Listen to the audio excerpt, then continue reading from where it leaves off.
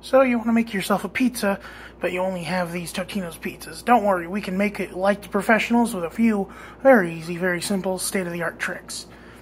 First off, um, every pizza nowadays has a neat kind of cheese with it, but you know, we're on a Totino's budget, so instead of feta or goat cheese, we're going to use blue cheese dressing. Hmm.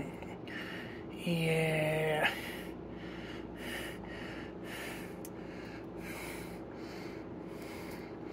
Isn't that just lovely? But now I know what you're thinking. Royce, that's not nearly enough cheese. Oh, don't worry, that's why we have great value mozzarella.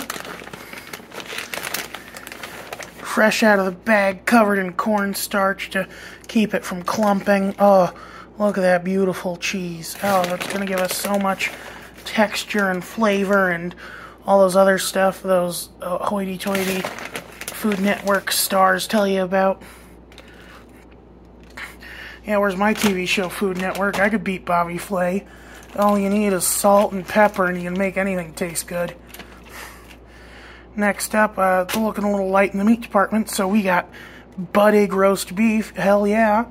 Oh, yeah. Oh, just look at that. Those slimy, gross, processed pucks of what I'm a, what it is purported to be beef. I don't know. We'll have to check the ingredients on that. Oh yeah. Uh, we, we want these. We just, we want to divide it up into four evenly spaced quadrants. Give it a little bit of a. Yeah, yeah, yeah, yeah. Perfect. Okay, it says it, it is only beef, but we don't. We still don't know which part of the cow. Now it's looking a little, still looking a little bland. So, you know what? We're gonna do some everything bagel seasoning. Oh yeah. Oh look at that baby. Mm. Nice little Parmesan herb crust there. Wait. Yes, of course. How could I forget?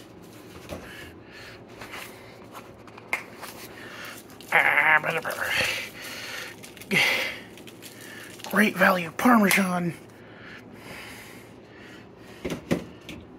Now let's just pop this thing in the oven and we'll give it a couple extra minutes to cook. Let's say about 20 instead of the recommended 15. We'll just go for a little timer here.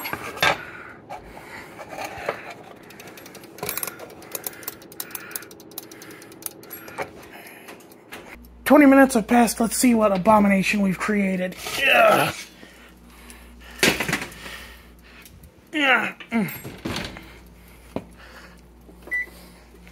Well, it doesn't look too bad, but looks can be deceiving. Let's pull one of these little effers off.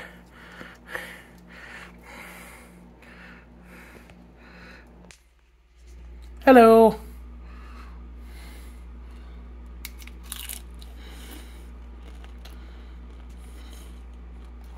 Tastes like fish. I don't know why.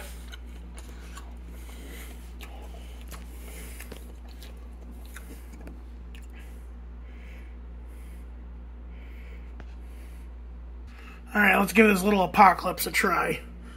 Divulgia. Huh?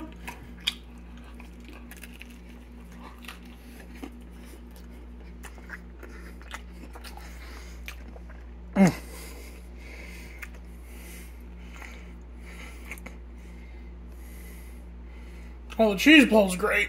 Um,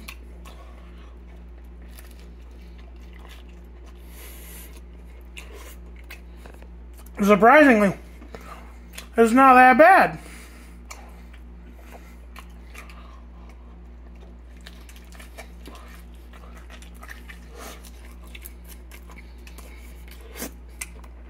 Turns out, blue cheese goes good on pizza. Who knew?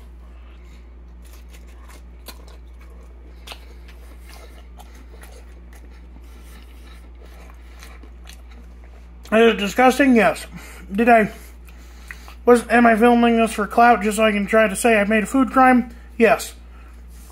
But Here's the thing, though. I actually do make this on occasion. Um, not, I don't usually use the blue cheese, but goddamn, I think I might actually start doing it now. Y'all have a good one.